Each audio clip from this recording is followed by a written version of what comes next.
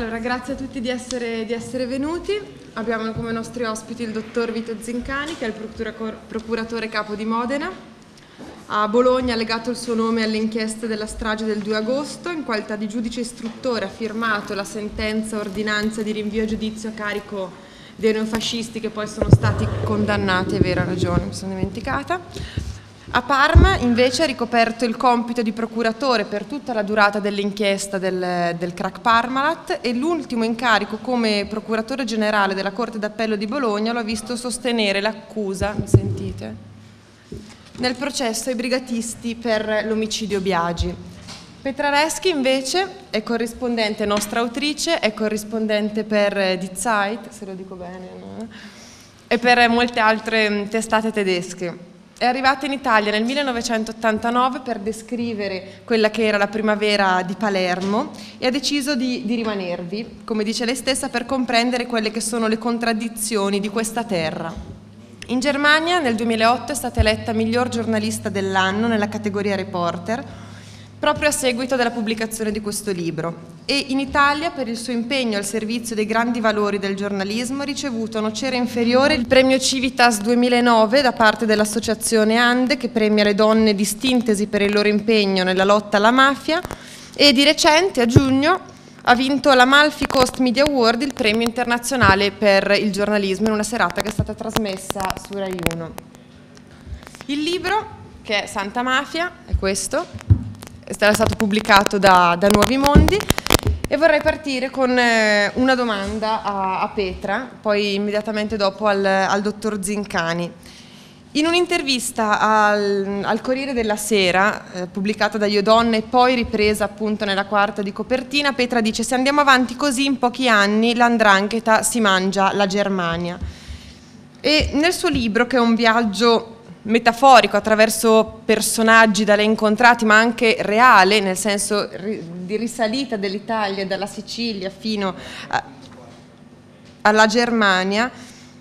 ha individuato un momento spartiacque, una data storica importante che è quella che corrisponde alla strage di Duisburg, nella strage di Ferragosto, nell'agosto del 2007, quando di fronte al ristorante, alla pizzeria da Bruno furono ritrovati, crivellati da 70 proiettili sei, i cadaveri di sei uomini, tutti calabresi. Da quel momento la Germania è, è parsa accorgersi di un fenomeno chiamato mafia che non era più forse legato a una storia di folcloristica di coppole e doppiette in questo senso. Ha segnato veramente, questa è la domanda, in Germania una presa di, di coscienza del fenomeno mafioso anche in terra non italiana? Eh, io mi augurerei che, che, fosse così, però purtroppo devo dire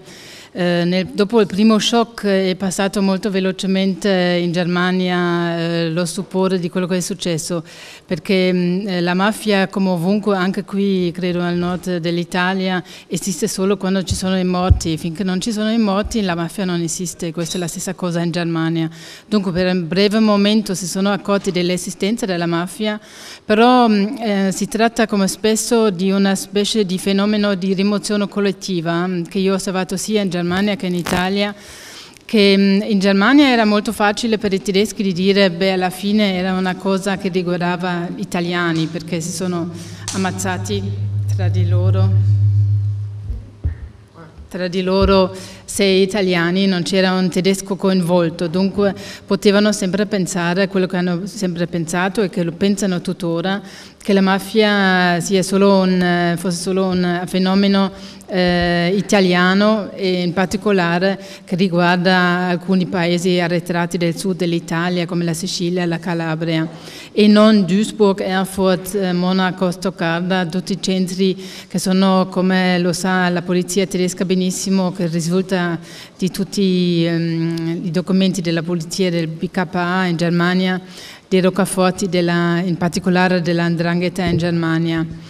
E, e io ho cercato con il mio libro di, di svegliare un po' le coscienze, di, le coscienze dei tedeschi perché credo finché l'Europa non si rende conto che la mafia non è solo un problema italiano, ehm, la mafia non potrà mai essere combattuta, incluso anche gli altri paesi, non solo la Germania ma anche l'Olanda dove è stato arrestato Giovanni Strangio, uno dei killer dell'attentato di Duisburg assieme con il suo cognato cognato Francesco Romeo che ovviamente sono stati arrestati lì, non erano gli unici che si sono fermati, che vivevano tranquillamente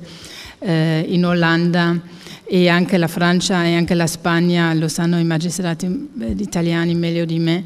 e finché non, eh, in, in, Europa non si rendono conto che mm, non è che mm, la mafia esiste quando c'è un attentato, quando c'è una strage come quella di Duisburg, ma la mafia esiste soprattutto in questo momento eh, di crisi economica, per esempio sono i mafiosi gli unici che hanno soldi in contanti che possono comprare, investire anche in um, imprese per esempio che sono in difficoltà, dunque è un momento molto cruciale per la lotta contro la mafia. Infatti, sempre a, a questo riguardo, infatti volevo chiedere al dottor Macri se il punto di vista di Petrareschi è più europeo, cioè nel senso la mafia che ha varcato i propri confini ed è arrivata fino in Germania, in Olanda, in Francia, eh, sono di, di, recente, eh, una notizia di, di aprile di quest'anno, per esempio l'arresto a Modena di un gruppo camorristico legato al clan dei Casalesi che si era infiltrato da vent'anni nella provincia di Modena e gestiva un giro tra bische, circoli privati, eccetera. E la domanda era questa, cioè quali sono e quanto sono profonde, per esempio, le infiltrazioni della criminalità organizzata che un cittadino comune probabilmente non si aspetterebbe in una cittadina tranquilla o apparentemente tranquilla e sicuramente ricca come per esempio Modena. Devo premettere che nella presentazione è stato fatto riferimento solo al mio curriculum giudiziario, ma io sono anche docente di criminologia all'Università di Bologna. E uno degli argomenti di studio eh, che da molti anni seguo è proprio quello del crimine organizzato. Eh, in un testo da me redatto ancora più di vent'anni fa, già eh, si faceva riferimento alla mafia imprenditrice ovvero eh, viene percepito in realtà da chiunque si occupi del fenomeno mafioso che eh, la mafia non è più eh, legata al feudo, non è più la mafia neppure dell'edilizia e del sacco di Palermo. Oggi la mafia è un imprenditore, anzi un insieme di imprese che hanno relegato soltanto a livello estremo l'applicazione di eh, metodi criminali alla soluzione dei conflitti, ovvero il valore competitivo del metodo mafioso sta che è un valore aggiunto di competizione imprenditoriale che viene usato quando non ci sono altri modi per risolvere eh, problemi. Di qui allora il ricorso all'intimidazione, anche al delitto, ma man mano che si dilata il potere economico delle diverse organizzazioni criminali, diminuisce il tasso di criminalità percepito, perché c'è sempre meno bisogno di uccidere, di intimidire, in quanto è sufficiente lo strumento della leva finanziaria. Anzi, negli ultimi anni assistiamo a un ulteriore passaggio, quello della finanziarizzazione, ovvero la mafia non è più soltanto un'imprenditrice, ma è un grande potere finanziario. Sfugge eh, al, all'osservatore comune, ma non agli studiosi, un dato contabile, una stima molto accurata per difetto che era stata fatta nel 94 dall'Università di Bologna, ha stimato in circa 100 miliardi di euro il fatturato di Cosa Nostra soltanto in Italia. È arrivata in Scusate il ritardo, ma i treni. Ora voi comprendete da questa cifra, che probabilmente è raddoppiata nel frattempo, che eh, eh, l'intervento del crimine organizzato nell'economia è sempre più di tipo internazionale ed è sempre più di tipo finanziario. Ovvero è inevitabile che la gestione delle risorse economiche eh, limitate che aveva il crimine organizzato agli inizi nell'immediato dopoguerra potesse essere affidato a libretti al portatore, intestati a nomi di fantasia molto gentili, in genere nomi floreali, Violetta, Margherita, eccetera. Quando la massa di denaro è diventata molto grande, dopo il sacco di Palermo, dopo la trasformazione della mafia rurale in mafia dell'edilizia, è stato necessario avere il banchiere di riferimento. La storia ci dice che prima è stato Sindona, poi Calvi. E già con il mm, Banco Ambrosiano la finanza mafiosa si era saldata ad altri poteri finanziari, ma c'è stato un ulteriore passaggio. Attualmente la massa di denaro gestita è talmente enorme che neppure una sola banca potrebbe gestire, anzi la differenza sistema era proprio legata al fatto che nessuna impresa potrebbe avere un unico banchiere e nessuna banca potrebbe avere un unico cliente. Di qui il processo della trasformazione in una miriade di società finanziarie prevalentemente collocate nel sistema offshore che ormai è denaro senza padrone, incontrollabile. Ma voglio darvi un'ulteriore notizia che forse apre uno squarcio ancora più inquietante. Fino a 20 anni fa eh, questo eh, tipo di investimento finanziario era occasionale, ovvero eh, l'imprenditoria mafiosa eh, non potendo reimpiegare tutto il denaro in attività illecite, facciamo un esempio semplicissimo, se commercio in droga e guadagno 100 milioni di euro, non le reinvesto tutti nell'acquisto di droga, me ne bastano 10 milioni per ricomprare la stessa quantità di droga, gli altri 90 milioni devo reinvestirli. Allora per molto tempo l'investimento è stato occasionale, ovvero trovavo un'impresa in crisi o indirettamente attraverso l'usura o direttamente proprio comprando sul mercato. Uno dei meccanismi è stato l'affitto d'azienda che mi dava il privilegio poi nell'acquisto, un diritto di prelazione sull'acquisto. Oppure compro una pizzeria, oppure faccio del riciclaggio immobiliare, cioè facendo investimenti. Pensate, Montesilvano, città da cui io provengo, io sono nato a Pescara, ha 30.000 case invendute continuano a costruire. Il problema non è vendere, è comunque trasformare denaro, in ogni caso sta lì. Oggi però abbiamo un altro problema, l'investimento oggi è strategico, cioè quando la massa di denaro da investire è divenuta enorme si comprende che non può essere investito così all'occasione, ma è necessario una strategia di investimento. Bene, la strategia di investimento è stata individuata in alcuni settori chiave, che sono l'editoria, l'alta tecnologia, la ricerca scientifica, le telecomunicazioni. Perché? Perché ciò che si propone oggi il potere mafioso è il controllo del potere tout court, ovvero attraverso il controllo dell'informazione, attraverso il controllo della tecnologia legata alle comunicazioni, attraverso il controllo di settori strategici, in realtà io controllo tutti gli altri poteri.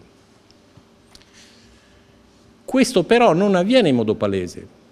Cioè, nessuno potrebbe dire che dietro un grande gruppo editoriale esiste un potere mafioso. È un'affermazione destituita di fondamento. Esistono grandi gruppi finanziari ma che attingono i loro capitali dal mondo finanziario. Dunque, una volta che il denaro di provenienza mafiosa sia divenuto denaro senza padrone che naviga attraverso i circuiti offshore, esso perde ogni colore, è denaro e basta.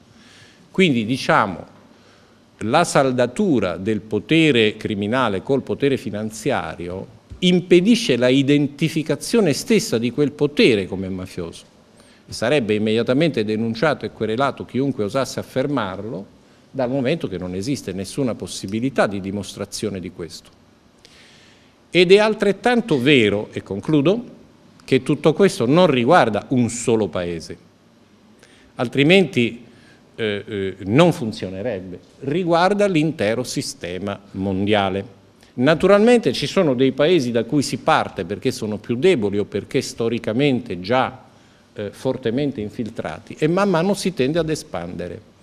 Ma l'espansione internazionale è una deriva inevitabile e presente. Aggiungo, e passo la parola ad altri, che tutto questo è perfettamente comunque conforme alla natura proteiforme del potere mafioso, ovvero il potere mafioso, rispondo alla domanda della nostra intervistatrice, si adatta al sistema di aderenza, ovvero ha una natura di tipo mimetico, per cui non ha un connotato tipicamente definibile e invariabile. Quindi la mafia in Modena è modenese, si mimetizza secondo gli schemi della società modenese, agisce secondo i metodi imprenditoriali modenesi. A Duisburg assumerà connotati diversi, a Palermo diversi ancora. Io volevo agganciarmi a quanto appunto appena, appena detto il dottor Zincani per chiedere a Petra quali sono i connotati della mafia Duisburg. Tu l'hai sentita anche sulla tua pelle perché questo libro nell'edizione originale e anche noi abbiamo voluto riprendere questa scelta, è stato soggetto a intimidazioni, ma soprattutto a due processi. Eh, per, è stata querelata appunto Petra da due esponenti della mafia tedesca che l'hanno portato ovviamente in, in tribunale. Non ultimo un'intervista rilasciata settimana scorsa da, da Dell'Utri su Libero che definisce appunto riferendosi alla prefazione di Vincenzo Macri, che è procuratore nazionale antimafia, ha detto un procuratore che fa questo, riferendosi al fatto appunto che avesse scritto la prefazione, l'introduzione al libro, eh, avala sicuramente queste falsità allucinanti contenute nel, nel, nel, libro di Pietra Aresti. E questo l'ha detto Marcello Dell'Utri che vi ricordo è stato condannato in primo grado a nove anni per concorso esterno di un'associazione mafiosa, ovviamente si aspettano gli altri gradi di giudizio però questo, questo è. E volevo chiedere a Petra appunto, questo libro in Germania è stato oggetto, oggetto di processi e intimidazioni e vorrei che tu ci raccontassi che cosa è successo, sia col pubblico, quindi cosa è successo durante le presentazioni al pubblico che in tribunale di fronte a questi due personaggi quantomeno inquietanti. Io sono anche, diciamo, io sono nata vicino a Duisburg, dunque io conosco anche la zona molto bene e, mm, diciamo mese, nel giro di un mese dopo l'uscita del mio libro e l'ho trovato molto interessante quello che ha detto il procuratore a proposito del controllo dell'opinione pubblica perché questa è una cosa che mi tocca direttamente come giornalista e lo trovo molto importante e l'ho molto notato anche in Germania eh, questa volontà di controllare l'opinione pubblica. Dunque il mio libro è uscito l'anno scorso in settembre in Germania in un momento abbastanza cruciale per la mafia in Germania perché loro volevano tutto per eh, tornare nell'invisibilità nella quale hanno vissuto benissimo per 40 anni, dunque far capire ai tedeschi che la mafia non esiste. Eh, se uno chiede a un mafioso ed è stato uno dei due protagonisti di quelli che mi hanno querelato, è stato chiesto da un giornalista tedesco cosa dice dell'esistenza della mafia, lui ha detto eh, la mafia non esiste in Germania, esiste solo in Calabria. Dunque, mm, e loro volevano soprattutto far capire questo, che la mafia non esiste. E tra l'altro, uno dei due protagonisti che mi ha fatto la causa, Antonio Pelle, dunque eh, vi ricordo solo il nome del clan Pelle Romeo, che è stato uno dei due clan che è stato coinvolto nel massacro di Duisburg. Allora, Antonio Pelle, che è un albergatore, eh, lui è proprietario di questo albergo a Duisburg quale, eh, nel quale eh, ha soggiornato la eh, squadra nazionale del calcio di, italiana all'epoca dei mondiali. E questo Antonio Pelle eh, praticamente nello stesso periodo ha pubblicato anche un libro con il titolo eh, Nato a San Luca. E in questo libro, che ovviamente è stato scritto da un ghostwriter tedesco, lui fa, ehm, descrive la storia molto commovente dell'emigrato italiano che viene in Germania, che non vuole altro che di crearsi una esistenza in Germania e veniva sospettato di essere un mafioso, che l'unica L'unica colpa che avrebbe sarebbe quella di essere nato a San, nato a San Luca. Eh, bisogna essere chiaro anche che se uno ehm, eh, rimprovera un tedesco di, di, razzismo, questo è il punto debole ovviamente dei tedeschi, dunque se un italiano dice ma l'unica mia eh, colpa è essere italiano, essere nato a San Luca, allora subito i tedeschi si ritirano e non, eh, non hanno più il coraggio di dire qualcosa a proposito dell'esistenza della mafia in Germania. Dunque questo solo per spiegarvi, ehm, nel clima dunque non, ha, non era un buon momento per loro che è uscito il mio libro facendo i nomi dei protagonisti della mafia in Germania. E loro si sono rivolti ai giudici per, per, proteggere praticamente la loro privacy, perché in Germania è molto facile questo, di, anche se un giornalista cita dei nomi di, eh, da documenti giudiziari, eh, finché questa persona non è, eh, è stato condannato in Germania, non ha il, non ha il diritto dipende sempre dal giudice ovviamente, però ehm, c'è una forte probabilità che vieni condannato. E così fu in quel momento quando sono andata a Erfurt.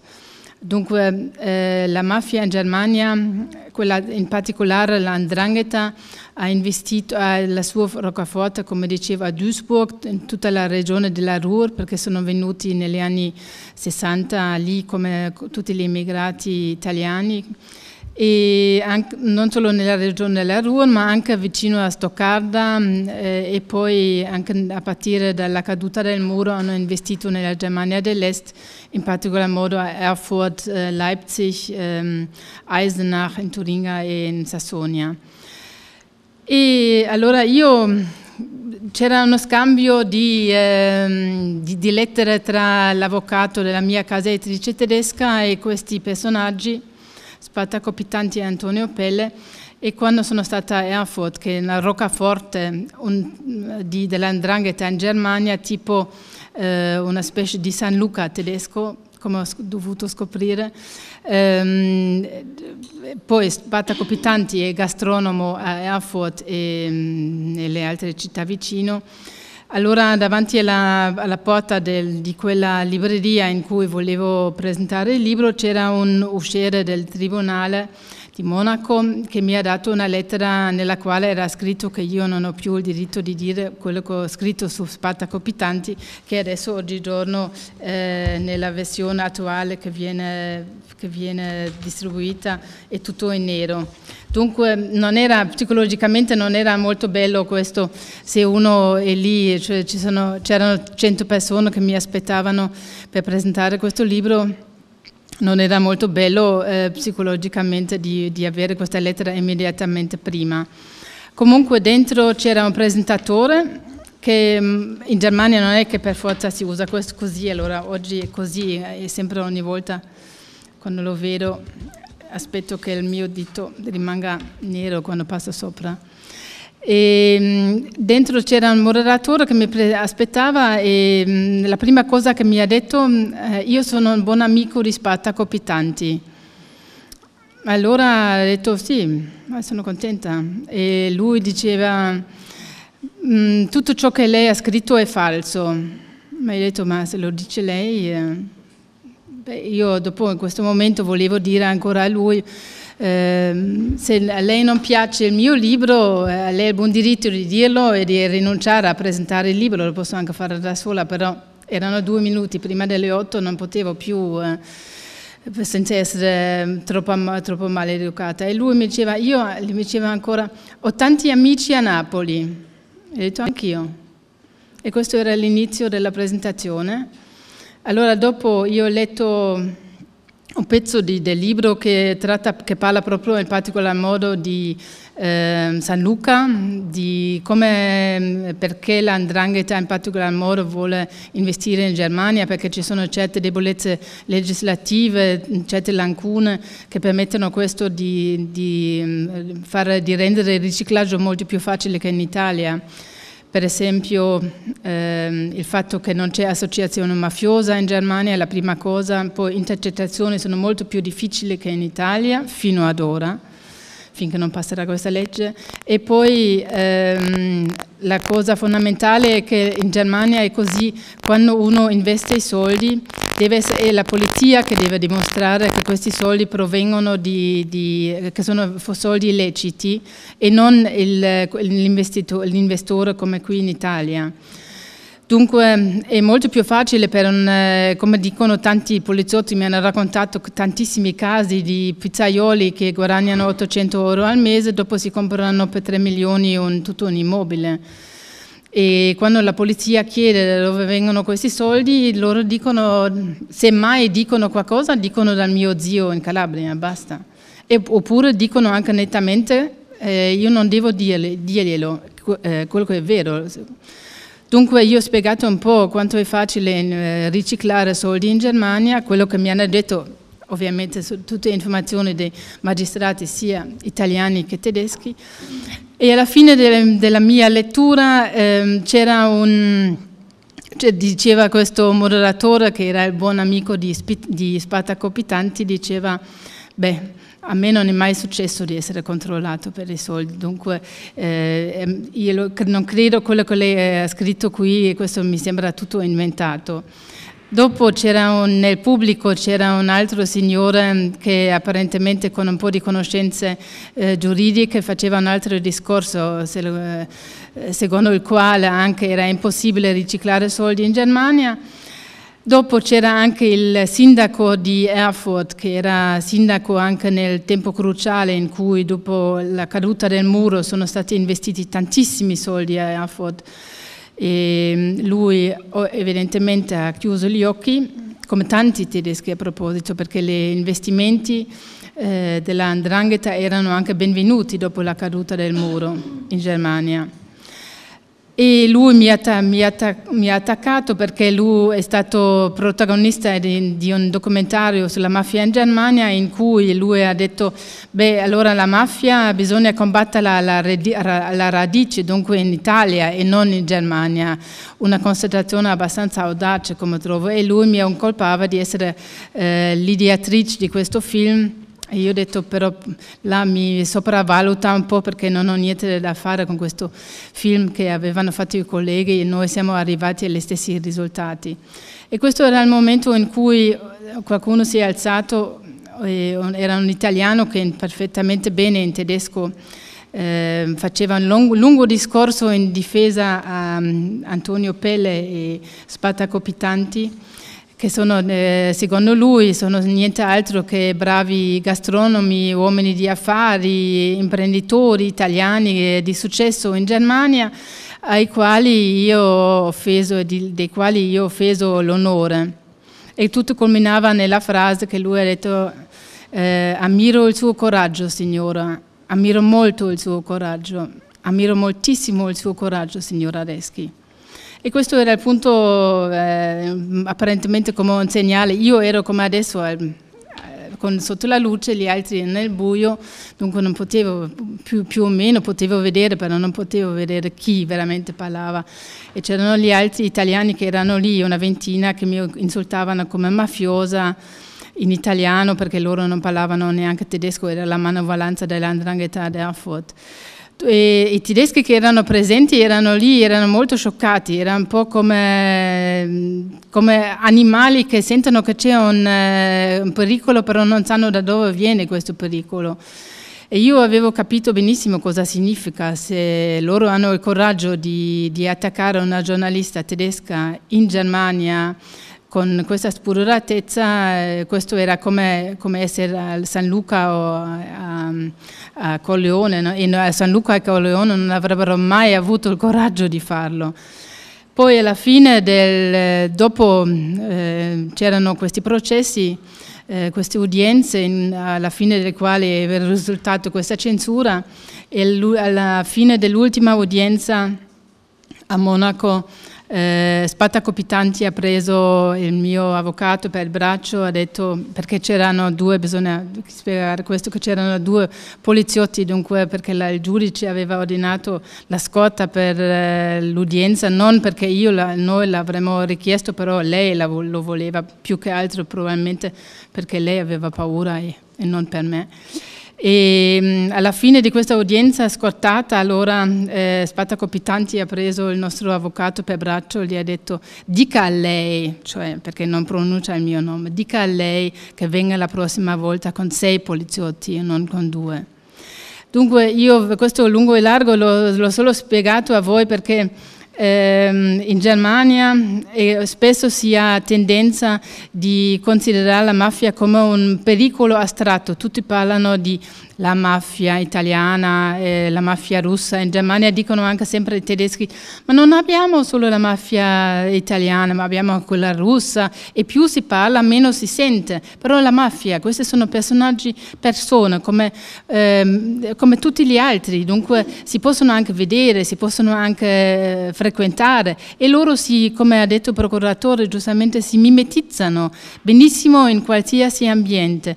E in Germania, per esempio, è così che ehm, tutti pensano sempre ma com'è possibile in Germania dove tutti sono così ehm, stanno attenti a non eh, a passare, a, accettare, a rispettare la legge? Ma anche i mafiosi in Germania rispettano la legge nel, nel, nell'apparenza. Non è che loro fanno le cose che, potrebbero, che fanno qui in Italia. Si comportano praticamente come i tedeschi e sfruttano le debolezze eh, della società eh, tedesca tedesca che sono diverse di quella, di quella, italiana, perché un tedesco per esempio ha una fiducia cieca nello Stato e nella legge e dunque eh, il mafioso è il primo che lo conferma in questo. I mafiosi in Germania dicono non vi dovete preoccupare, le vostre leggi sono abbastanza sono sufficienti e eh, la mafia esiste solo in Italia. Com'è possibile, in virtù proprio sia del racconto di Petra che di quanto riferitoci da, da, da Zincani, che non esistano delle politiche comunitarie? Nel senso, com'è possibile che in un paese democratico e civile, come potrebbe essere la Francia, la Germania, non esiste il reato di associazione mafiosa? Entrambi, volevo prima il dottor Zincani e poi anche se vuole intervenire. Le questioni sono molto complesse e mi rendo anche conto che è difficile affrontarle eh, così eh, a braccio in un dibattito pubblico, essendo a volte anche molto tecniche. Cominciamo dal delitto di associazione mafiosa. Questo contenitore giuridico è stato inventato da noi per rispondere ad una realtà che mh, era in evoluzione sotto il profilo organizzativo e bisognava introdurre una nuova figura rispetto all'associazione per delinquere semplice. L'elemento distintivo fu trovato nell'intimidazione mafiosa, nel metodo mafioso, nell'uso della violenza e dell'intimidazione che è un quid di specifico dell'associazione mafiosa rispetto a una qualunque altra associazione delittuosa. Elemento però divenuto col tempo evanescente, perché sempre più insieme alla evoluzione nel senso di potere finanziario, potere economico del potere mafioso, l'intimidazione diretta diminuisce rispetto a quella che è un'intimidazione ambientale, ovvero nelle zone dove il potere mafioso è diffuso e pervasivo, non c'è più nemmeno bisogno dell'intimidazione diretta di qualcuno, l'intimidazione è in re ipsa, c'è una sudditanza sociale. Eh, se qualcuno, e Petra a quanto pare conosce molto bene, forse quanto me, eh, la, il territorio della Locride, basta guardare, non si possono fare investimenti nella Locride, perché è in re ipsa che qualunque investimento è controllato dal potere mafioso. Dunque mm, non c'è bisogno che qualcuno venga eh, con degli sgherri, con la coppoletta e la lupara a minacciare. La società è già suddita di quel potere, nulla può muoversi, a cominciare dagli strumenti urbanistici,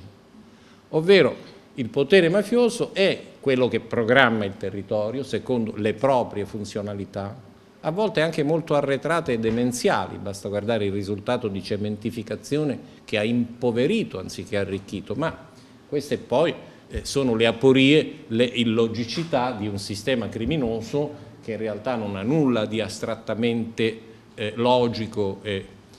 Il che porta allora a un altro problema molto grave eh, di cui tutti noi dobbiamo tener conto. Non si possono formulare accuse avventate, ecco perché si prendono le querele. Volete un esempio? La maggior parte dei mafiosi conosce molto bene l'istituto del trust, che io invece fatico a spiegare agli studenti di giurisprudenza. E l'istituto del trust, ovvero la segregazione patrimoniale, fa sì che se io affermassi che una certa proprietà è di un mafioso sarei immediatamente smentito, perché appartiene ad un soggetto, in nessun modo io potrei ricondurlo ad un altro soggetto. Questo per esempio è servito per eludere tutte le certificazioni antimafia ovvero nel momento in cui noi chiediamo la certificazione antimafia per poter affidare un appalto ad un'impresa, quell'impresa è pulita. Ovvero i meccanismi di occultamento del potere mafioso sono tanto più sofisticati quanto più il potere mafioso si espande, fino al punto che non c'è più neanche bisogno di occultarlo, perché esso si identifica col potere to court cioè se qualcuno ha seguito le vicende, non so, delle eh, eh, aziende sanitarie della Locride,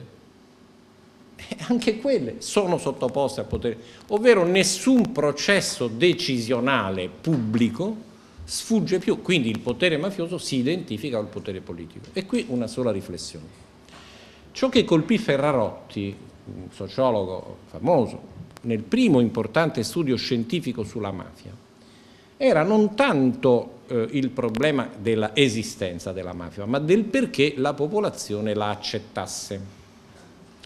Io ho portato più in là questo discorso nel mio libro, ho affermato che non è desiderabile l'eradicazione del potere mafioso,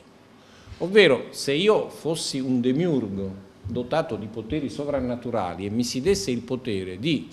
stroncare ogni attività criminosa a Modena domani mattina, come Procuratore della Repubblica ci provo ma non ho questo potere divino,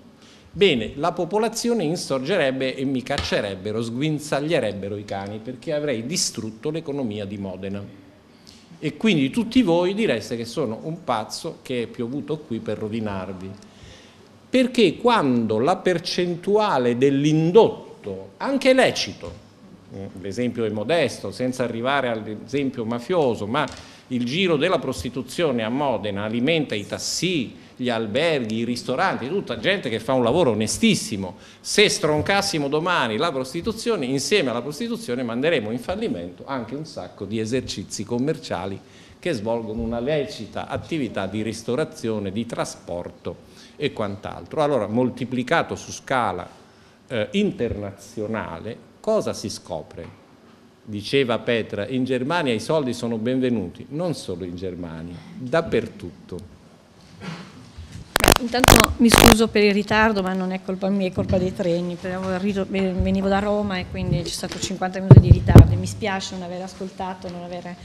ascoltato anche l'interessante apertura insomma, dei lavori, per cui non mi spiacerebbe se dovessi fare qualche ripetizione, però sul problema della legislazione sicuramente il procuratore ha detto chiaramente sotto l'aspetto anche un po' abbastanza tecnico eh, le difficoltà e che cosa è successo, ma io mh, a me piaceva un po' ricordare la storia anche dell'introduzione del 416 bis che è l'associazione mafiosa, insomma quello che il nostro codice oggi c'ha al di là dello snaturamento che ci sono, ma quello è un problema più tecnico. Noi siamo siamo un paese dove arriviamo sempre il giorno dopo, no? prima l'omicidio e poi magari scriviamo una legge sempre anche di fretta.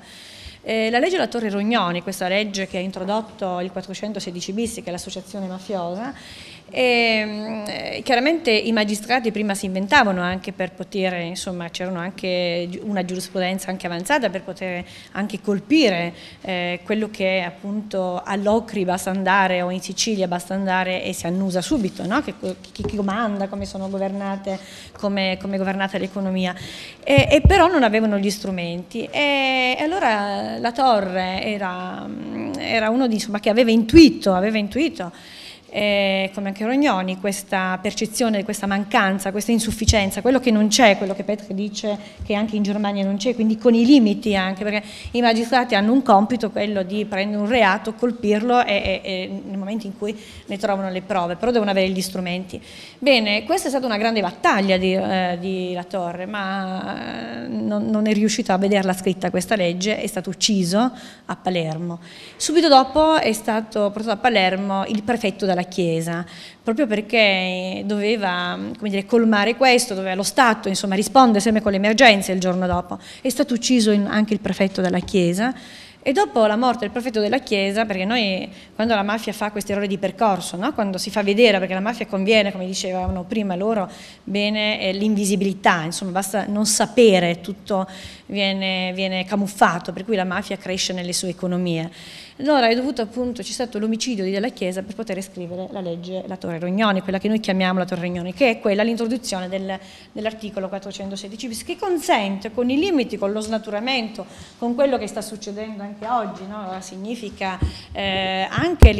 diciamo, eh, l'utilizzo diciamo, dei collaboratori di giustizia, no? che anche questo diciamo, ha dato una mano a, a, a costruire dei processi, a, a emettere delle condanne. E questo diciamo, è, è dire, lo stato della nostra legislazione o il modo di come noi poi legiferiamo, no? a volte legiferiamo con questa, proprio la legge del giorno dopo.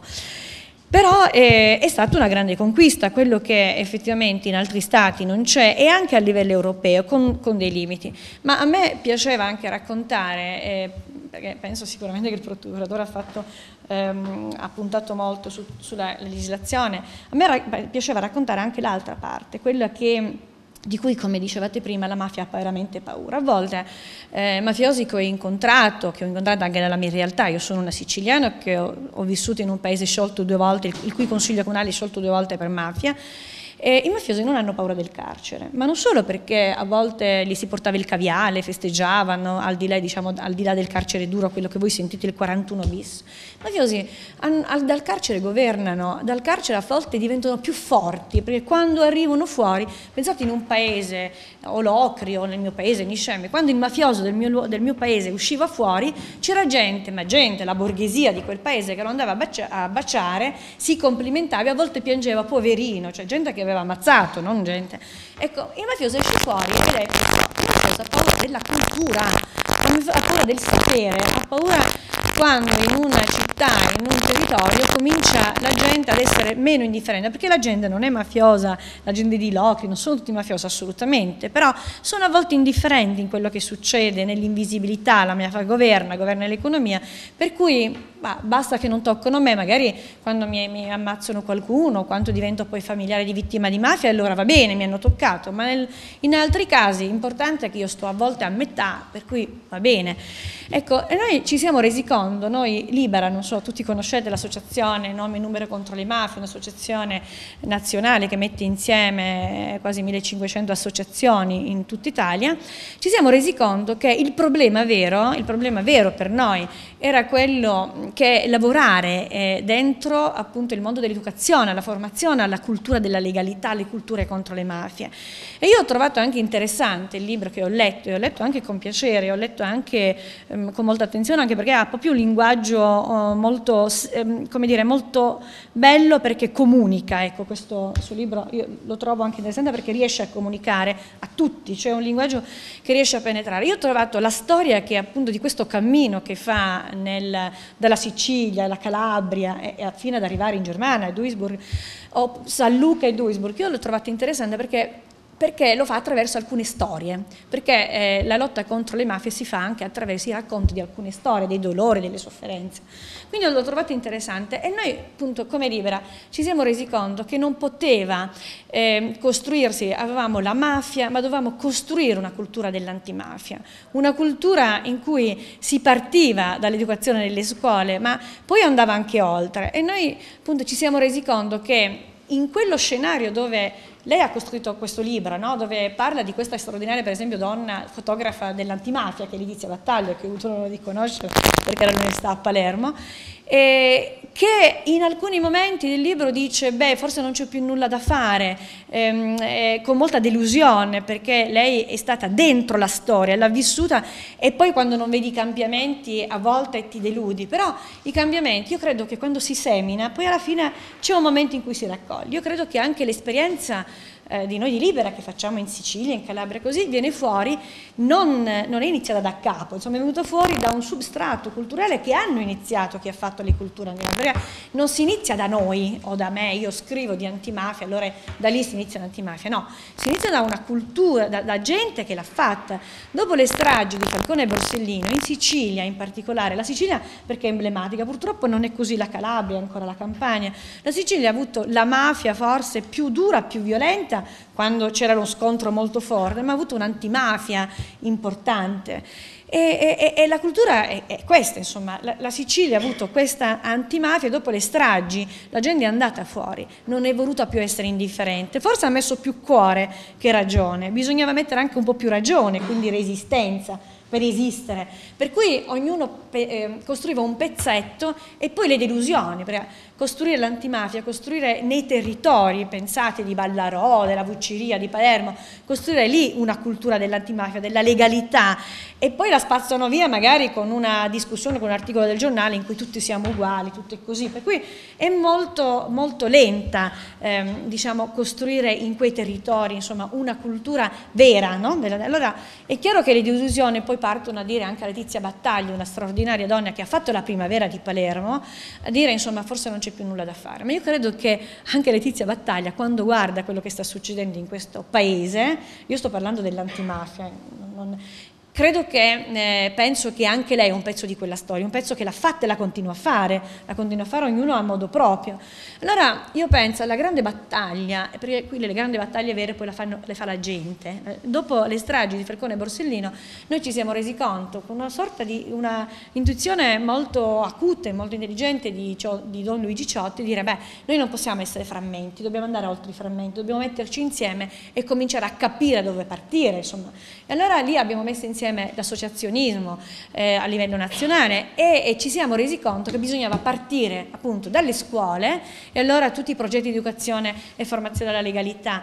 però eh, quello era sempre un settore, ma era parziale. Ci siamo resi conto che anche la legislazione era parziale, perché i magistrati hanno un compito importante e lo fanno. Molti magistrati, non a caso abbiamo avuto, cioè Falcone e Borsellino sono magistrati, cioè Chinnici, Aldivattino, quanti ne dimentico, però hanno un lavoro preciso, ci sono dei reati, li devono colpire, seppur hanno questo strumento della legislazione del 416 bis, ma colpiscono reati. Poi c'è una funzione di altri, quella della politica, che dovrebbe essere un po' più credibile, anzi molto più credibile, che magari non fa pienamente il proprio compito, ma poi c'è quella della società che noi chiamiamo responsabile, no? più che società civile. Ci siamo resi conto che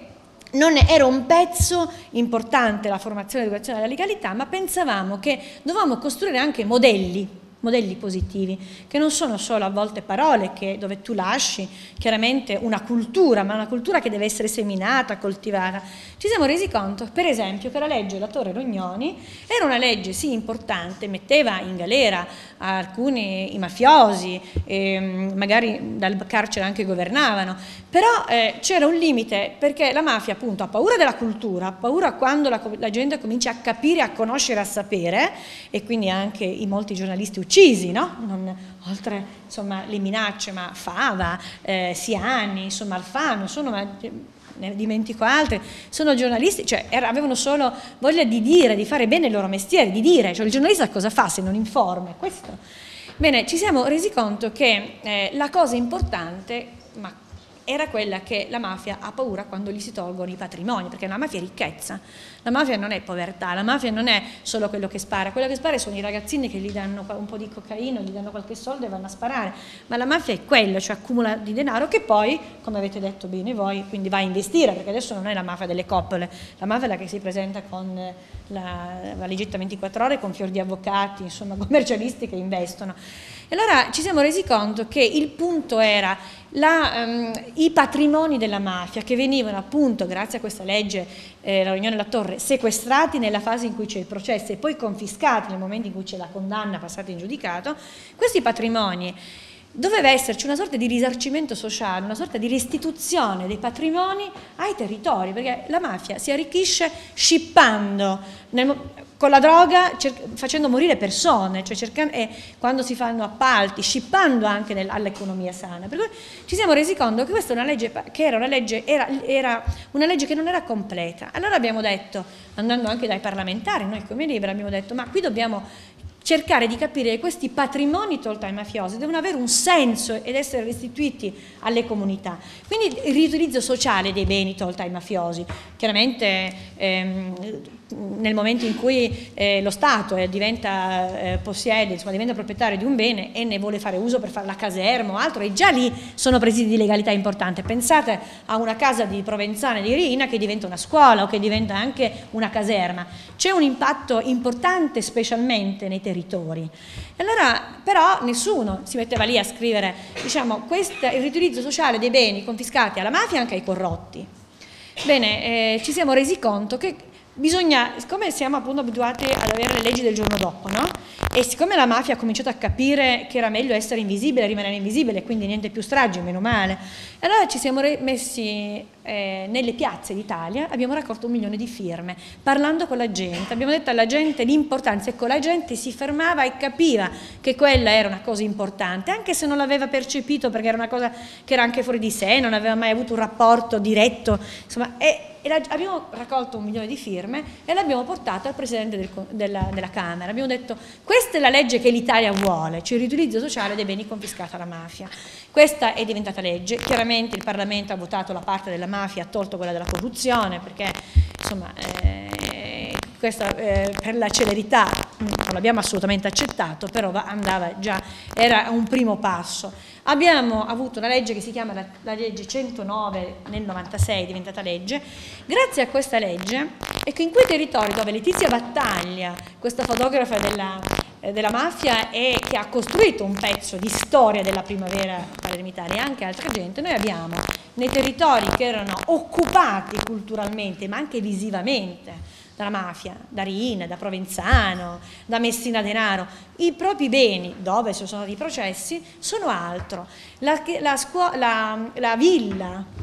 di Rina è diventata una scuola prima a Corleone. Questa cosa, i terreni di Provenzano, di Rina e di altri mafiosi sono diventate eh, terre coltivate da ragazzi che sono rimasti nei territori, nella Locride, a Palermo e sono rimasti lì a lavorare e intanto eh, lavorano quelle terre e coltivano, voi non so, molti di voi eh, conoscono i beni eh, diciamo che vengono dalle terre confiscate, l'olio, il vino, la pasta e sono come dire che hanno noi diciamo i sapori della legalità. Pensate che Provenzano era latitante in un, in un casolare assolutamente anonimo, assolutamente di fronte a questi ragazzi che lavoravano nella legalità e lavoravano le terre, diciamo, confiscate alla mafia. Queste terre che eh, hanno un valore aggiunto, un valore in più, perché intanto eh, nei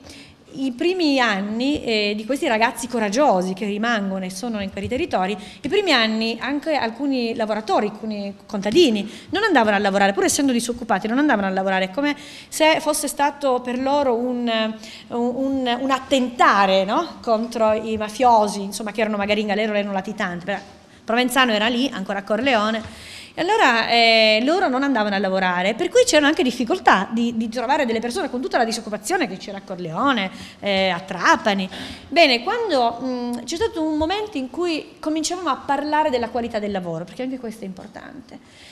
Allora hanno cominciato a vedere che lì si venivano dati i contributi, che lì venivano, avevano un lavoro vero, avevano un lavoro nella legalità. Bene, si è superato quello, adesso in quelle terre ci lavorano solo i ragazzi della cooperativa, perché sapete, essendo lavori stagionali c'è anche bisogno a volte di fare lavorare altre persone. Bene,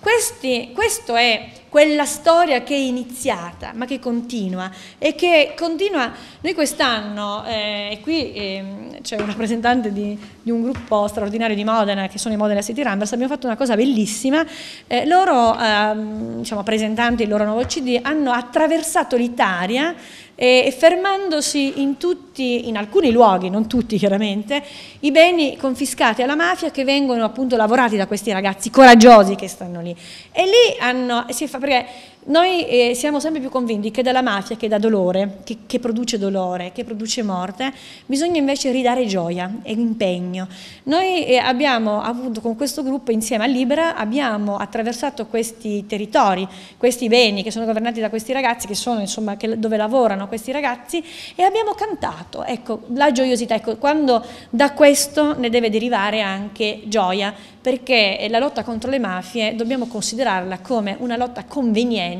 quando parlo della società responsabile, non sto parlando anche di altro,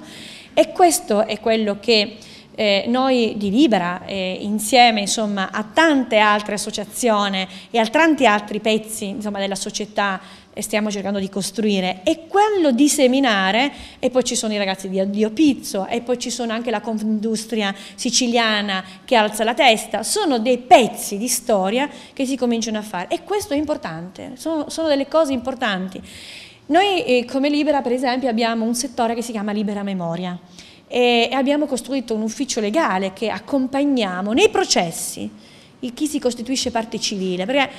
Pensate, una persona che ha avuto ammazzato il papà o ha avuto ucciso il fratello perché si opponeva alla mafia, non perché era mafioso, che deve vivere non solo quel dolore, quel dolore perché si era impegnato civilmente, ma deve anche vivere i processi, deve anche entra entrare in quel mondo che non ha mai conosciuto. E noi eh, vediamo il dolore, ci parliamo ogni giorno. Io vengo da una riunione in cui eh, per organizzare, stiamo organizzando una manifestazione a, a ottobre, c'era eh, una ragazza il cui padre è stato ucciso, un imprenditore di Locri è stato ucciso perché non voleva pagare il pizza. Quindi quando questo, da questo dolore questa ragazza oggi diventa la nostra referente, diciamo, di Libera Nazionale che lavora su questo, io credo che un pezzo d'Italia cammina. Ancora poco, ancora poco. Io credo che ancora di più, e specialmente al nord. Io credo che al nord, dove c'è ancora quella che noi percepiamo come mafia invisibile, quella,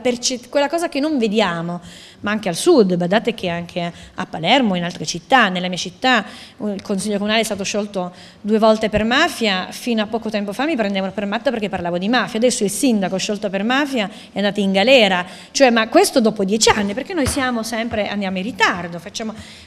una cosa è la magistratura che deve trovare i reati, deve trovarne le prove, una cosa è quello che noi guardiamo, cioè chi abita in quei territori lo sa con nome e cognome, allora il punto è quanta necessità c'è di società responsabile che non si può girare dall'altro lato, che bisogna, bisogna, esserci, perché questo significa dare anche forza a una magistratura che deve fare il proprio lavoro, ma non si può abdicare quello che deve fare la società civile o responsabile alla magistratura, perché ognuno fa un proprio pezzo.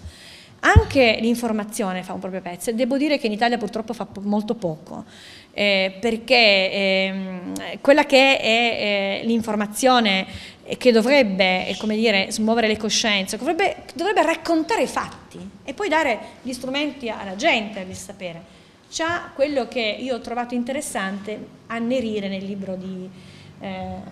eh, suo, no? Cioè bisogna vederle queste cose, bisogna vedere che c'è la censura. Ecco, questo è un altro pezzo importante. Eh, noi come Libera abbiamo fatto appunto Libera Informazione, eh, il cui insomma, responsabile è Morrione, Roberto Morrione, e, e, questo troviamo perché? Per mettere insieme tutte quelle che sono le invisibilità, cioè quelle che sono come delle informazioni anche nei territori piccoli, nella Locride c'è il giornalino della Locride, in Sicilia, metterli insieme e farle diventare forza, con una forza economica che chiaramente non abbiamo, ma che invece deve essere la forza della coscienza, la forza anche dell'indignazione. Grazie. Vista l'ora, considerando che appunto il dottor Zincani tra poco do dovrà andare, Faccio, volevo fare un'ultima domanda a, a, Petra, perché era una cosa, ricollegandomi a quanto detto appunto da, da Enzarando, sulle storie. Questi personaggi, perché alla fine è un racconto, è vero sì, di investimenti, di alberghi, di tutto ciò, di, di strutture in cui la mafia ricicla il denaro, eccetera, ma è anche e soprattutto un racconto di personaggi che tu hai incontrato risalendo dal, dalla Sicilia. Sono personaggi che tu racconti, scritti benissimo, chiunque l'ha letto anche nel corso di queste presentazioni che abbiamo fatto è rimasto sorpreso perché è un libro che si legge d'un fiato, in un, un giorno e mezzo, due. E io mi chiedevo come è possibile raccontare di persone così controverse come padre Frittita, come l'avvocato Rosalba Di Gregorio, la più famosa avvocato della mafia. Questo mi chiedeva con, con quale spirito tu da reporter vai a intervistare, senti racconti apparentemente così limpidi e puliti di gente di questo tipo? Eh, volevo dire anche a proposito, riferendomi a Letizia Battaglia, che è una delle protagoniste, come iniziamo con questa. Letizia Battaglia, che è la fotografa e la mamma anche di quella fotografa con la quale ho sempre lavorato, che si chiama Shoba, che ha fatto anche la copertina di questo libro e con la quale ho fatto tutti i reportage assieme. Allora, Letizia è una combattente che ormai ha, oggi ha 75 anni che tutta la sua vita ha lottato contro la mafia e mm, questo è anche un po' un filo conduttore nel mio libro. Ehm, e lei, io l'ho trovato mm, di un grande coraggio, quello che ha detto, quello che io ho citato nel, libro, nel mio libro, di, come mm, eh, un, una conclusione molto amara della sua vita e lo, molto coraggiosa di dire eh, abbiamo perso la nostra causa e non dicendo ovviamente, non lo esclude, le, ovviamente cioè le, le, speranze ci sono, c'è Libra, ci sono eh, organizzazioni come eh, Addio Pizzo a, Mon, a, a Palermo, eh, ammazzateci tutti, dunque c'è un grande movimento di giovani che si ribellano contro la mafia, assolutamente chiaro. Però Letizia ha anche l'esperienza lunga di sapere anche all'inizio, per esempio, le donne, subito dopo c'era una grande indignazione in Sicilia dopo l'uccisione di Falcone e Borsellino, che ovviamente uno non riesce, questa, questa rivolta era una, quasi una rivolta sociale contro la mafia e era un grande problema per la mafia perché quando non ha il consenso sociale non può funzionare questo, per questo anche Provenzano ha scelto l'invisibilità e tornare nel consenso. Dunque e lei io l'ho trovato molto mm, coraggioso perché lei vive a Palermo e di vedere le facce cioè dei politici a Palermo, dunque questo è una, una, per lei veramente una, una, grande umiliazione per una donna che ha dedicato tutta la sua vita alla, alla lotta contro la mafia. E i personaggi che sono dentro il mio mm, libro sono, mm, io volevo, ehm, per questo anche ehm, nel mio libro per esempio non ho scritto di, di Libera oppure di Ammazzarci tutti perché non volevo assolvere i miei lettori e non volevo dare un'occasione a loro di dire come lo dicono perlomeno i tedeschi molto velocemente e non credo che sia diverso anche nel nord Italia, beh visto che ci sono organizzazioni come queste dunque c'è speranza allora non dobbiamo neanche preoccuparci, no invece no perché dobbiamo sì preoccuparci. E non volevo dare questa, questo, questa consolazione che, che, sono ovviamente, è una consolazione di avere gente che lotta continu- ogni giorno, che, fanno, eh, che cercano di creare una cultura antimafia nelle teste, ovviamente, però io non volevo dare questa consolazione ai miei lettori, li volevo preoccupare più che altro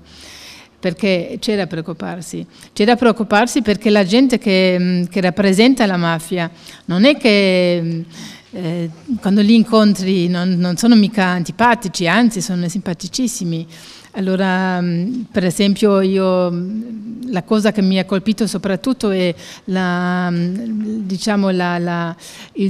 l'accordo purtroppo eh, sempre molto forte tra la parte, chiamiamola, eh, deviata della Chiesa Cattolica e la mafia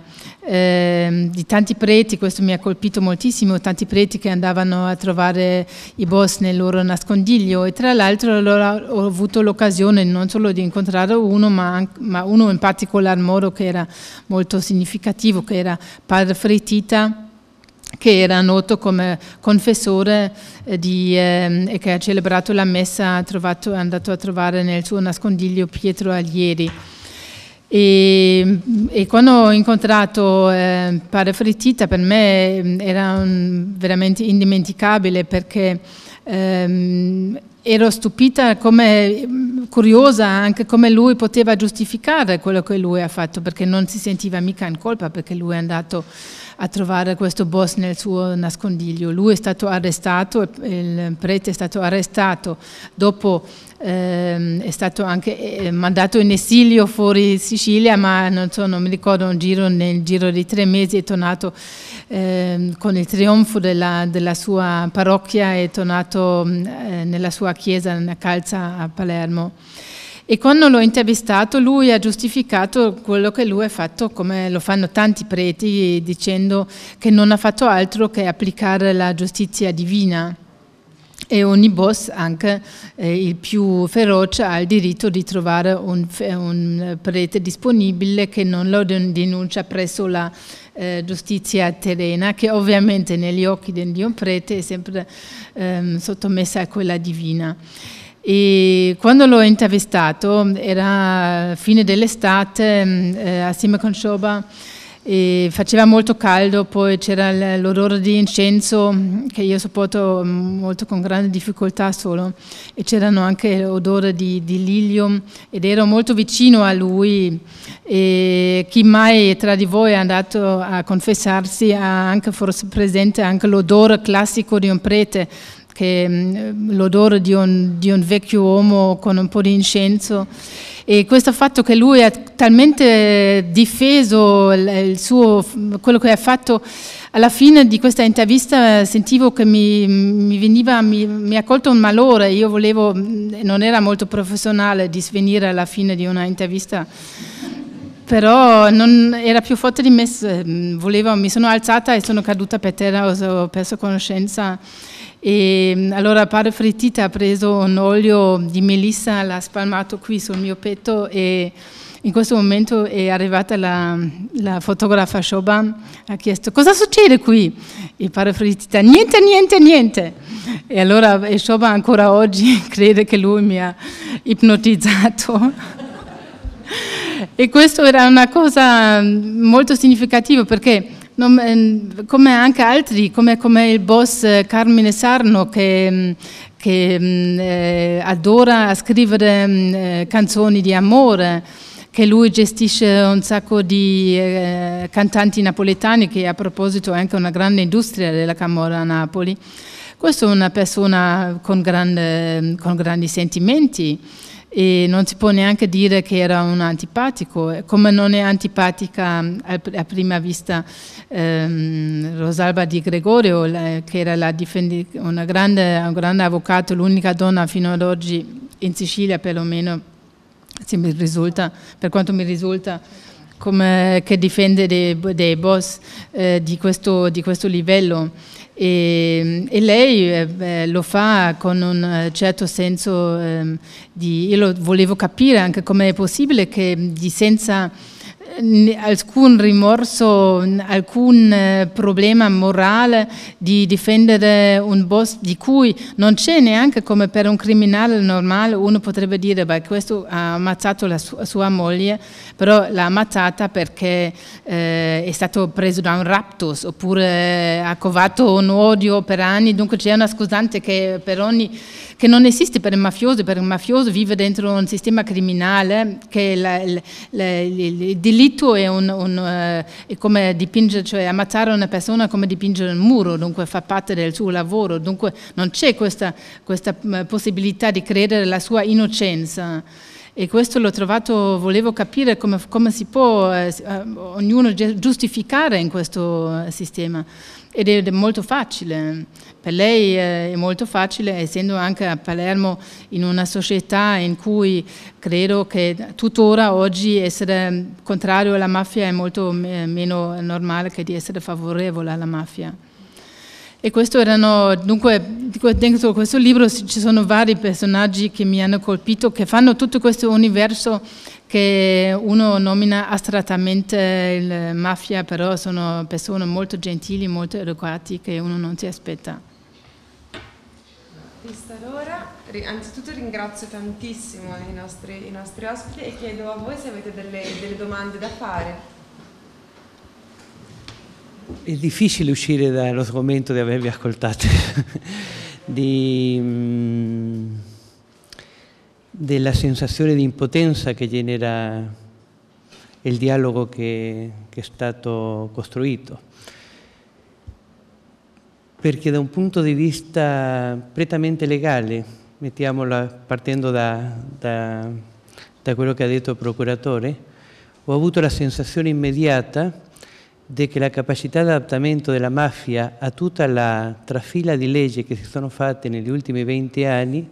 sia quasi un acceleratore più che un inibitore, nel senso che i cittadini, la, diciamo, gli imprenditori in generale hanno pagato il costo di dover fare trafile eh, di documenti e di spiegazioni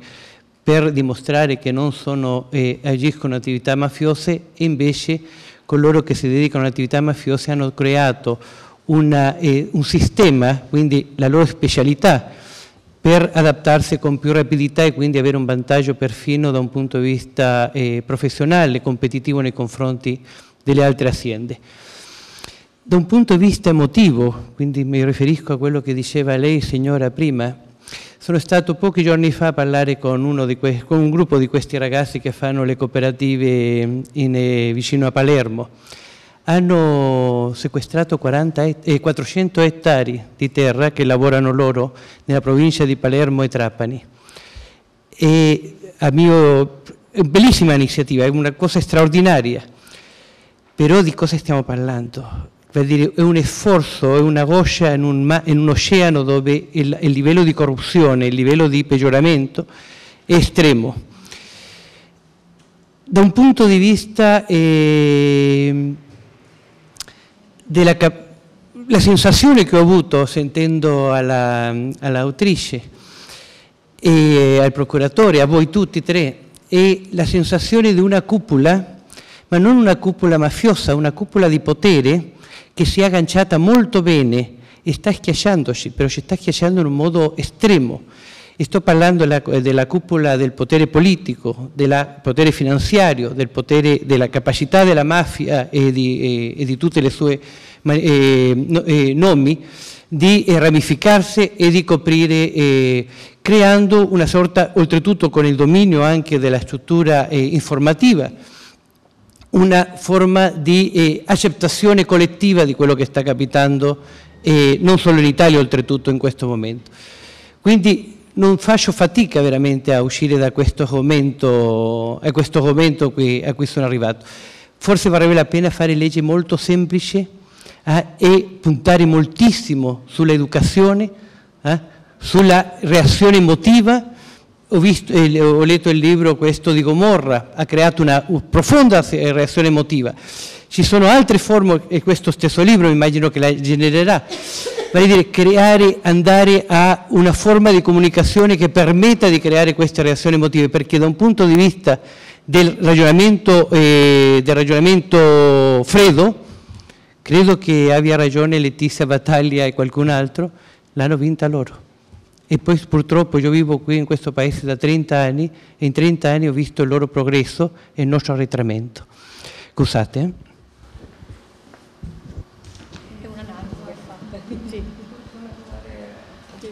Io mi chiedo scusa, siccome devo andare,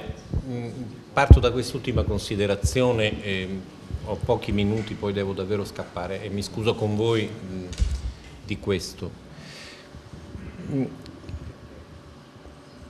È quasi costante questo tipo di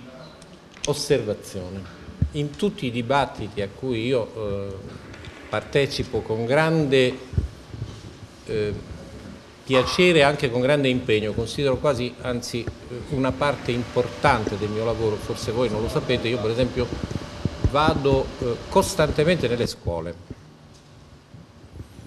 e eh, al termine c'è sempre qualche studente che dice ma noi cosa possiamo fare? Dunque siamo di fronte a un potere pervasivo che tende a diventare totale e dunque noi siamo impotenti. In realtà non è così. Le situazioni eh, in realtà sono molto complesse, le società moderne non sono eh, compatte e le situazioni sono in continuo divenire. E Due sono le grandi contraddizioni. La prima, noi viviamo in un sistema capitalistico ma il potere criminale tende ad essere monopolistico. Questa è una prima contraddizione per cui man mano che si espande il potere criminale che è monopolio, nascono spontaneamente reazioni, perché è una contraddizione insanabile. Il sistema capitalistico in realtà non sopporta il monopolio, quindi è all'interno del sistema capitalistico stesso che esistono, per così dire, degli anticorpi di contrasto economico del potere mafioso.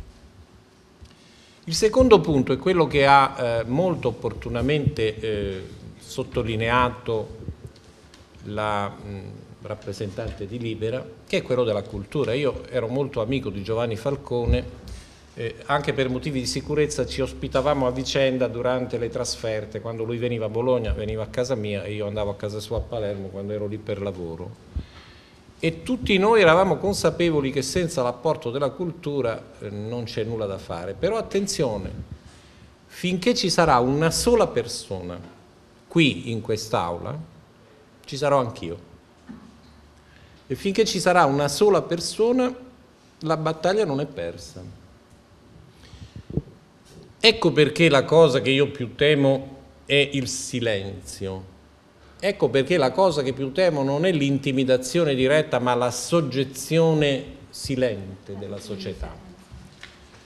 Dunque il problema è questo, gli anticorpi stanno in noi, nell'assetto che noi diamo alla nostra società e improvvisamente proprio quei posti che sembrerebbero i più abbandonati, parlo proprio di Locri, improvvisamente si scopre che i giovani si oppongono e dunque non si può né essere ottimisti né pessimisti. Questa è la società in cui viviamo. In parte non ce la siamo scelta, in parte ce la siamo voluta, perché ancora una volta questo tipo di situazione è un punto delicato di equilibrio tra le azioni individuali e il risultato complessivo. Io naturalmente ho un ruolo istituzionale, ma al di fuori di questo ruolo istituzionale potrei stare tranquillamente in poltrona a guardare eh, la televisione invece di partecipare ai dibattiti, partecipo ai dibattiti. Voi potreste essere a fare qualcosa di più piacevole invece che annoiare, siete qui. Questa testimonianza è fondamentale, quindi sono io che ringrazio voi di essere venuti ed è questo che ci dà soprattutto la possibilità di continuare. Se la cosa si riducesse a una faccenda giudiziaria, allora sì, avremmo perso. In realtà non abbiamo affatto perso. Anzi,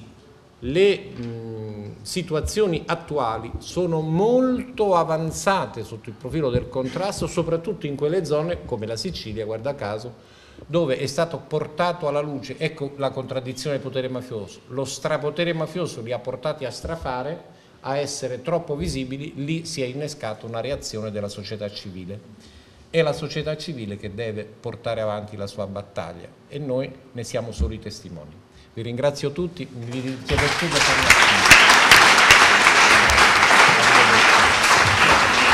Auguri, buon lavoro, arrivederci. Grazie per l'invito, arrivederci a tutti.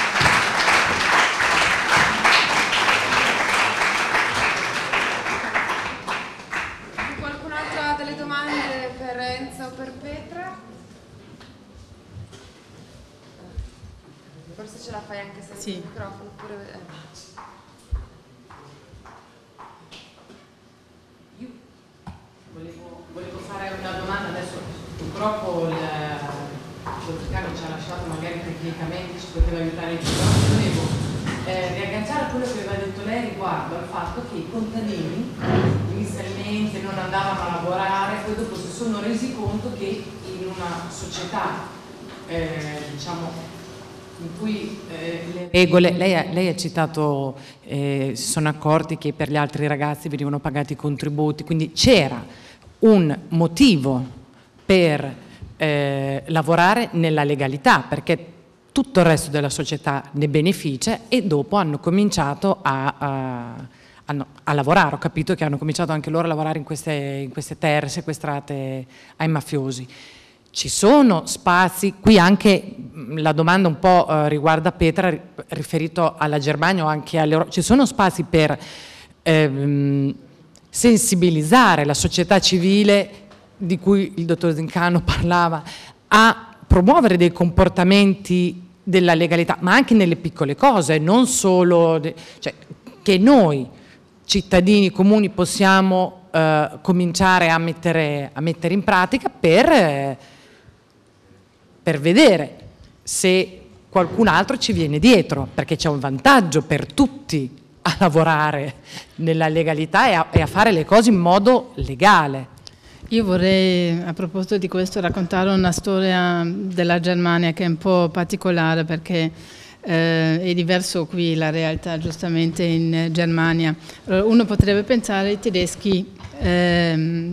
giustamente non sono più, anzi eh, siccome non, eh, hanno, hanno, osservato questo fenomeno di mafia da, da lontano eh, sarebbero ancora più spinti essendo anche molto fedeli, rispettano la legge eccetera eccetera, molto di più che gli italiani che si dice eh, sarebbero ancora più disposti ad essere contrari alla mafia. Io posso raccontare un piccolo esempio no, che io ho trovato molto significativo. Ehm, allora, ehm, davanti al, ehm, alla pizzeria da Bruno, dove era prima, dopo si è traslocato, comunque la pizzeria da Bruno a Duisburg era un luogo di incontro di mafiosi, che era noto tra tutti i tedeschi, tutti sapevano che questo era un ristorante di mafiosi, no? Bene, allora non era così che i tedeschi dicevano ma che mi fa schifo, allora mm, io non mica voglio avere a che fare con... Eh, con... No, c'era la coda davanti, la coda. Allora, io sono andata lì e ho parlato con un fioraio che ha il suo negozio davanti, così chiacchierando, e lui mi ha detto che conosceva uno, di, per esempio il mm, Sebastiano Strangio, uno di questi che è stato ammazzato, abitava sopra di lui.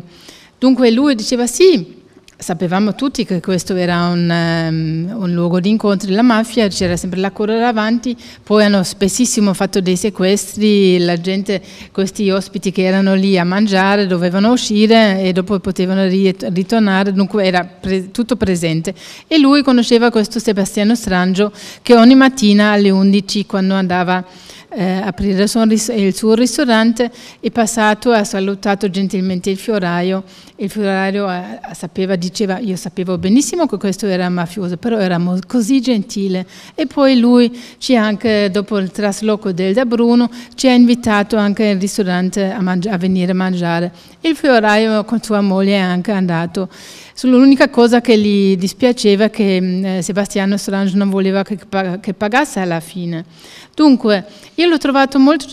curioso questo episodio per un tedesco, dunque mafioso sì, è un mafioso però era gentile. Dunque, se la stessa cosa io l'avrei osservata um, diciamo, a San Luca oppure in Sicilia avrei scritto nel mio, nel mio appunto di, per prendere gli appunti avrei scritto così mafiosi sono anche i tedeschi voglio dire, cioè questo è una, una uno, ehm, è molto facile di, eh, dire eh, ma alla fine ehm, cosa vuol dire la mafia, dunque io credo che eh, la disponibilità ehm, verso la mafia è molto più grande che lo pensiamo e non solo nel sud ma ovunque nel mondo, purtroppo dunque moralmente è molto difficile eh, creare una coscienza mm, veramente moralmente di essere eh, contrario alla mafia e non solo perché in generale essere contrario alla mafia è molto facile, però nel piccolo di dire sì, io non voglio per esempio mangiare,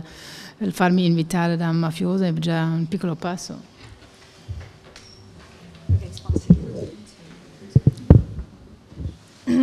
Eh, quello che oggi molto ovviamente diceva prima appunto Petra della Germania, eh, in alcuni luoghi, in, anche in Sicilia, in Calabria,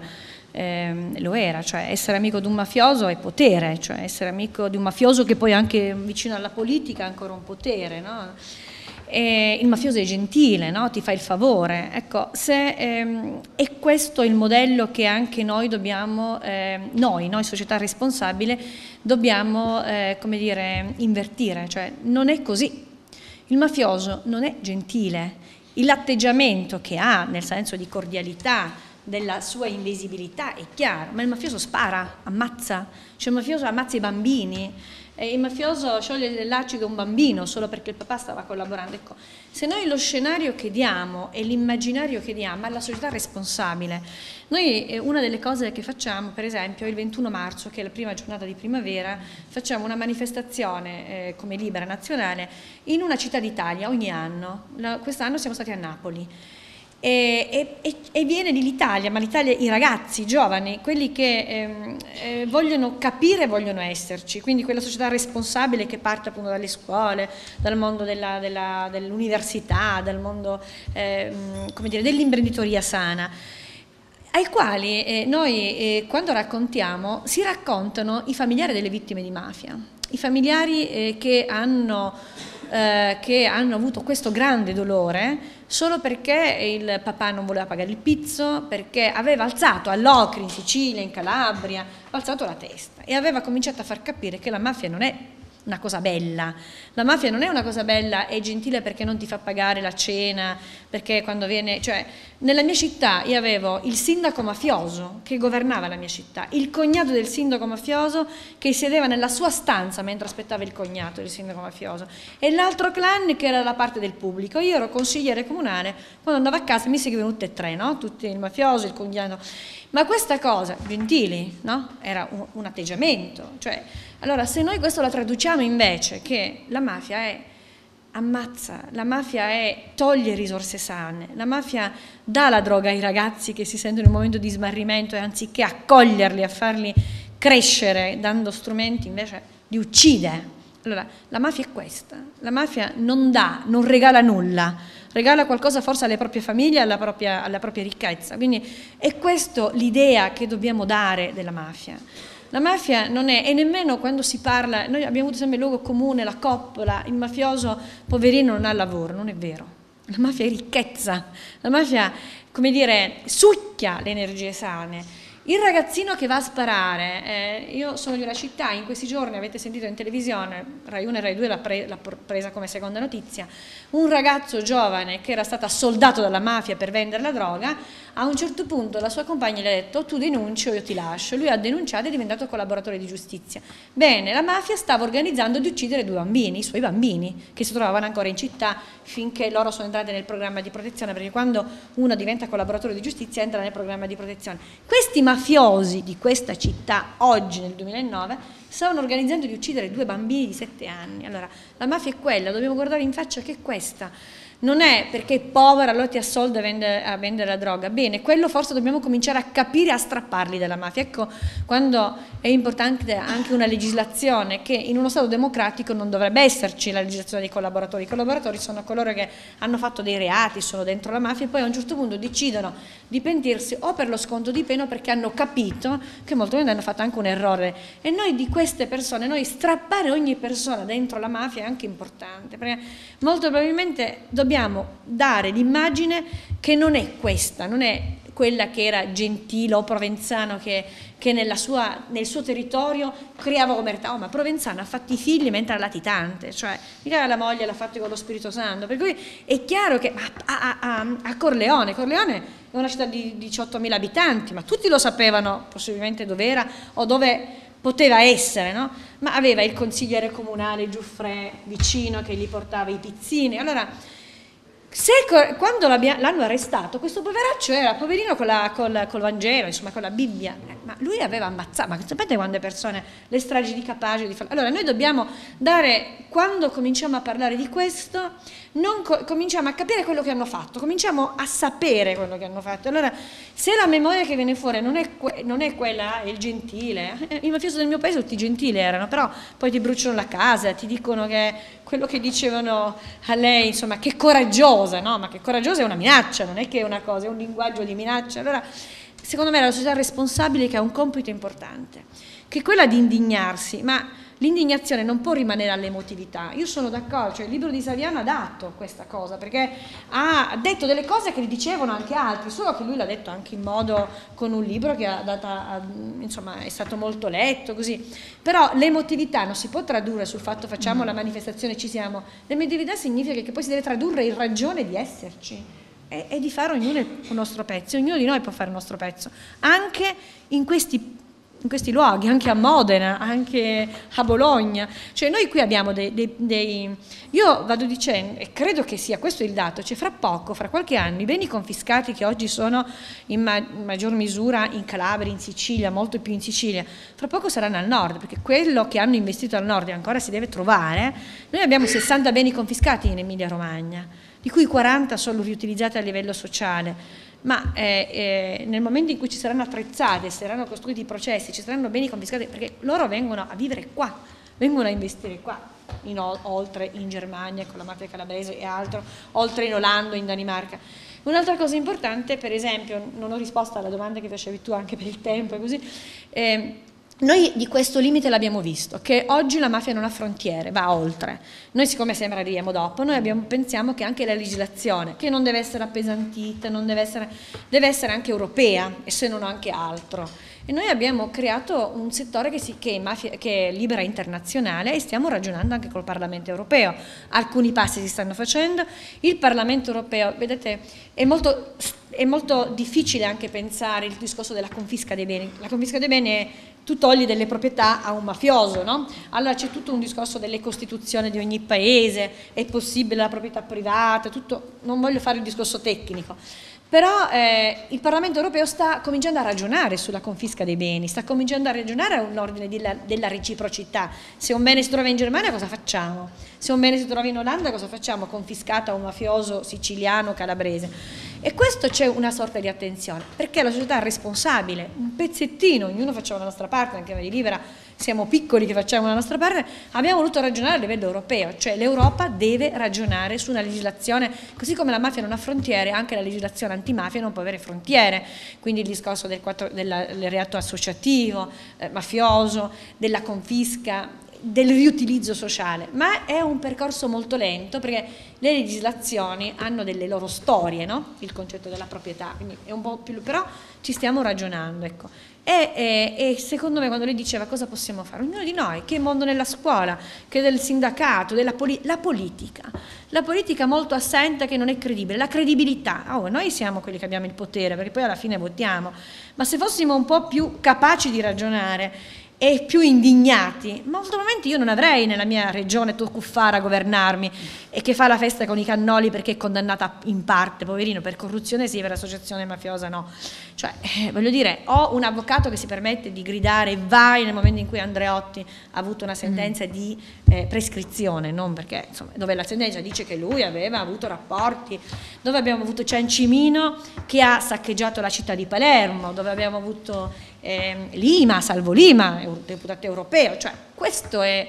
quello che noi abbiamo in mano. Ecco, abbiamo in mano questo, forse non lo capiamo che l'abbiamo in mano e questo è un limite. Questo volevo aggiungere su Lima e tutti quanti, tutto ciò che è successo. La, la, il vero miracolo è che quanto la mafia riesce a eh, influenzare l'opinione pubblica, crearsi il suo proprio immagine, perché questo fatto che, la, che le, queste banalità, che un mafioso è gentile, cordiale, eccetera, che, che possa ancora riprodursi, queste, questo veramente eh, io lo trovo tuttora eh, allucinante, però non è, loro controllano questo, una, mm, gli investimenti, il lavoro politico, eccetera, una cosa, però loro riescono anche a controllare ehm, le loro immagini e fare una propaganda continua. La mafia fa una propaganda continua, dunque io come giornalista sono la prima che, voglio, eh, che mi interessa questa cosa. In Germania, per esempio, una cosa molto interessante ehm, che pochi sanno, ehm, sono riusciti a vendere la musica della mafia e non solo in Germania, ma anche in Olanda, in eh, Inghilterra, in Francia, in America. Un grande successo. Allora, questo produttore della, mafia, della musica della mafia vive ad Amburgo, è un calabrese. E lui è riuscito a ehm, far venire ehm, gentilmente un sacco di giornalisti che facevano, si occupano di musica ovviamente, dunque non sanno nulla, già i giornalisti tedeschi, stranieri in generale non sanno nulla sulla mafia,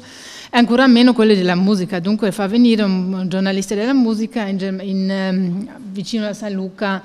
dove allora questo mi piace molto ai giornalisti, un piccolo brivido, allora io faccio adesso una, una storia maf- eh, sui mafia, incontro anche boss, come la mafia fosse un, un piccolo popolo tipo Chiapas eh, che non vogliono altro che ballare e cantare nel loro nascondiglio. E, e, tutti questi, c'erano articoli, Newsweek, Le Monde, Die Zeit anche, che non scritto ovviamente da me, eh, eh, Lo Spiegel, in tanti giornali, de, cioè i più grandi giornali del mondo, in cui hanno scritto praticamente anche questo, ehm, la mafia buona, la mafia cattiva, che è una cazzata che non è mai esistito, la mafia non, mai, non è mai stata buona, mai, l'onore non è mai esistito, hanno sempre ucciso donne e bambini, però riescono e ci tengono a sempre a riprodurre loro, eh, la loro propaganda, che lo fanno oggi su Facebook e questo lo trovo eh, molto interessante, che ancora questa è la cosa più importante che bisogna distruggere, questa immagine della mafia romantica, folcloristica e che non è solo che di questo non sono solo vittime i tedeschi, ma anche gli italiani del nord, perché quando si fanno film come Totorina, eh, come si chiama, Boss del Boss, c'è anche un'immagine romantica di, di, questo grande potere che lui esercita no? e di, di, di, far capire che la mafia è solo una cosa come uno poverino che viene trovato in un nascondiglio là, in una piccola casetta eh, che, fa, che, fa, formaggi eh, si viene a trovare con i, con eh, i santini. Che questo sono, sono cazzate, scusatemi il termine, però sono, non, non, è vero, però la mafia ci tiene molto, dunque le cose che noi vogliamo credere sulla mafia è quello che vuole, vuole far capire la mafia e la, questa è la prima cosa dove bisogna rompere anche.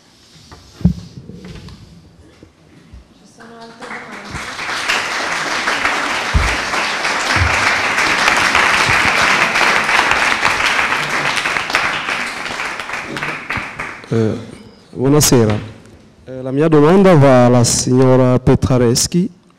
Eh, volevo sapere come si fa a vivere eh, una vita normale sapendo che si può, perché lei scrive eh, alla pagina 25 che eh, come sempre mi ripropongo di lavorare ancora un po' durante il volo e comincio a sfogliare il mio materiale d'archivio poi tiro fuori dalla, dalla borsa il libro sul, sul mistero dell'agenda rossa del giudice Paolo Borsellino. Appena lo apro ho subito l'impressione che qualcuno mi lega dietro le, le spalle. La mania di persecuzione siciliana mi assale prima ancora di arrivare in Sicilia. Come fa lei a vivere questa vita eh, sapendo che eh, gli, ha gli occhi puntato, puntati su di sé? volevo capire. Ma io sono anche paragonato con eh, tutti i giornalisti siciliani, napoletani, eh, eh, calabresi, sono molto fortunata perché vivo a Venezia, dunque io riesco ancora, eh, ho un piccolo eh, distacco ehm, geografico tra quelli, quelli che vivono veramente sul territorio, hanno molto più difficoltà di me. Diciamo che io mi sono sentita minacciata e molto, molto male, stranamente e, veramente in maniera assurda in Germania. Quando sono stata a Duisburg e quando sono stata a Erfurt eh, mi sono sentita molto sola perché allora in, in, Italia perlomeno quando parlo di mafia, per esempio lei ovviamente lei ha capito, ognuno probabilmente qui in sala ha capito cosa è una minaccia mafiosa. Invece quando sono stata in Germania e quando mi è successo di essere minacciata, i tedeschi non lo capiscono. Dunque, e, e, una, e poi di essere mm, eh, davanti al tribunale mh, mm, è stata per me un'esperienza molto umiliante eh, perché io ho scritto il libro anche con un certo impegno anche per, eh, per la Germania, per, per, avvertirli di quello che sta succedendo. Dunque di essere umiliata in un tribunale tedesco è stata per me un'esperienza singolare che non, che non dimenticherò mai e mi sono sentita molto sola in, in, Germania in particolar modo, perché in Italia almeno grazie a tutte queste organizzazioni come, come Libera, come Flair, come, ci sono un sacco di organizzazioni che subito si sono dichiarate solidari con me, eh, e questo mi ha, non avrei mai pensato di trovarmi in una situazione del genere che, che una dichiarazione di solidarietà potesse rendermi felice, eppure era così. E, e questa è stata veramente un'esperienza singolare di, di, di, trovarmi più protetta in Italia alla fine, eh, perlomeno sul piano psicologico che in Germania, perché Ehm, sì, lì pochi, pochi, erano solo a capire quello che è, su, è, successo, perché in Italia uno potrebbe dire per tutte le carenze che ci sono, però almeno c'è una coscienza di cosa è la mafia, cosa significa, e quello che in Germania manca dunque è ancora peggio. Sì, poi sì, in, in tribunale eh, io ho dovuto fare ripetutamente fare lo spelling di Ndrangheta perché nessuno dei giudici, ma io lo trovo veramente allucinante che un giudice tedesco non sa neanche, non sa cosa è, ancora meno di scriverlo, dunque, eh, dunque hanno il gioco molto facile e, e, io vi assicuro quando tu sei in tribunale e hai eh, questi personaggi davanti che ti ridono in faccia non è una cosa difficile, facile da dimenticare.